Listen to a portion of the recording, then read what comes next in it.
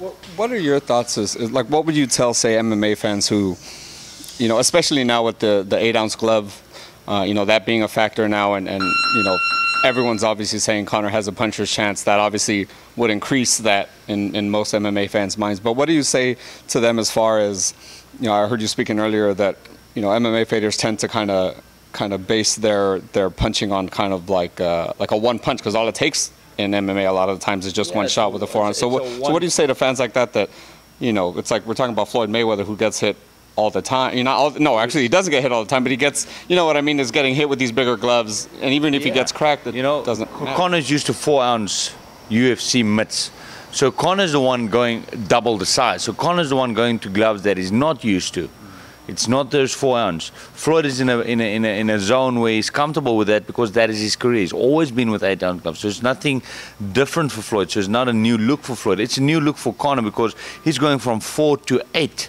So you know what? He's going to realize that going from four to eight, it makes a difference in, in, in, in, in, weight. It really does.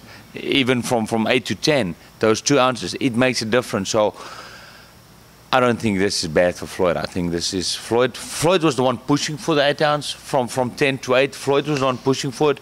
So that just tells me one thing. That is how confident Floyd is that he wants to knock out Conor. And he, he's pushing for those 8 ounce gloves because he really, really wants to put him down and put him out. And I believe that's what we're going to see. Yeah, what, what are your thoughts on The, the question is, is exactly what?